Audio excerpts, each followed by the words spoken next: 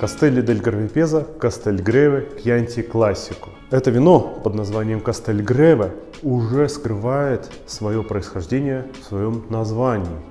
Кастель-Греве, то есть это вино происходит из подрегиона Кьянти с названием Греве. Оттуда зародилась винодельня Кастелли дель Гравипеза, и оттуда происходит на самом деле целая плеяда замечательных, выдающихся производителей Chianti Classico. И это пример классического Chianti Classico, самого традиционного. 95% сорта Санджевезе и 5% красного сорта Мерло, который разрешен в Classico. Это свежая, легкая Chianti Classico, не перегруженная джемом и фруктами, а наоборот насыщенная освежающими красными ягодами с хорошей легкой кислотностью. Оно выдерживается 12 месяцев в бочках из славонского дуба, э, больших бочках. И это на самом деле является традицией для Chianti Classico. Так производилось Chianti Classico много сотен лет назад. И такой стиль называется традиционным Classico.